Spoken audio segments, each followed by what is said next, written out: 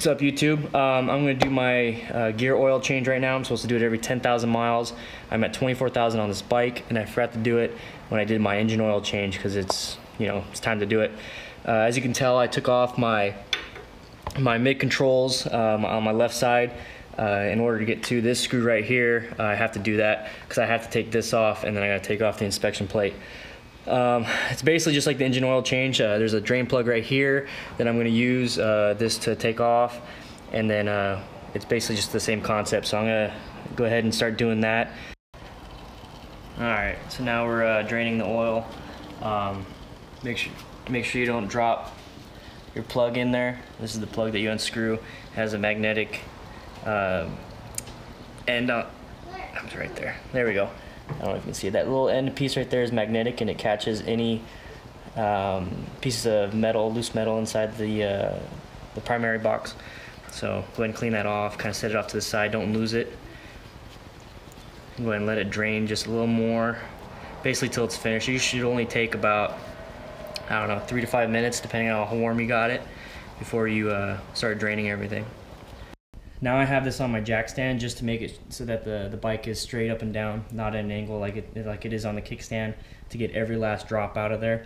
Plus when you do uh, when you insert the oil, you want there's a certain line that you have to do and you have to get it at and you won't be able to do it if it's on its side like it's on a kickstand.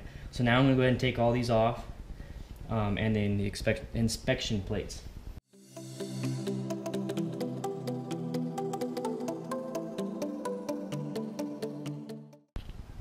All right, so this is what it looks like when you take everything off, the inspection plate and the derby cover. Um, go ahead and go ahead and plug the thing back in, the drip panel. Make sure you don't lose the spring. So I'm going to go ahead and uh, plug it back in, start filling it up here in the inspection plate. Uh, start filling it in, and I'm going to fill it up right to where the rim meets. Maybe a little bit less. And then uh, I'll go ahead and put everything back together.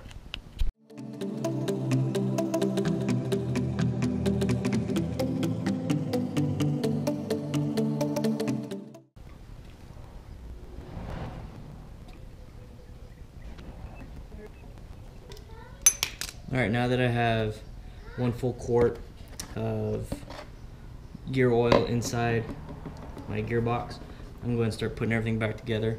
Make sure you still have the spring. Right now, all you have to do is put everything back together, and then you need to get a uh, torque wrench and then uh, torque it down to 90 to 120 uh, pounds on each one of these. Uh, so it's pretty simple. I'm just going to put this together, and then I'm going to go ahead and torque it down once I have it um, on level ground, but I don't think you guys need to see me doing that. So that's basically it.